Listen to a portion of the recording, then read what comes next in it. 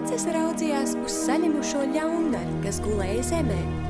Viss, tu vairs nevienam nedarīsi pāri nejaukais būravi, drosmīgā princese pateica un lepni atstāja cīņas vietu.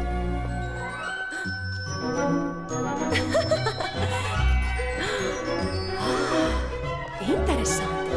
Kas tur ir?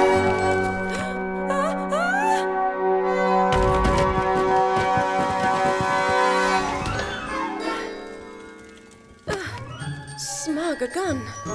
Princese Barbara pat nenojauta, ka šī grāmata viņu aizvedīs uz brīnumu zemi.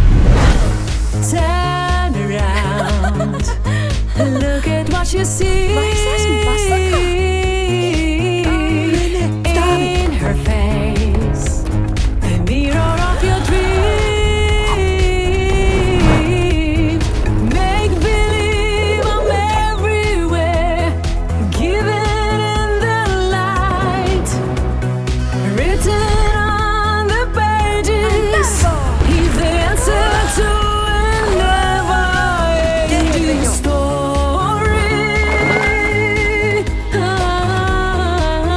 Princese un puķis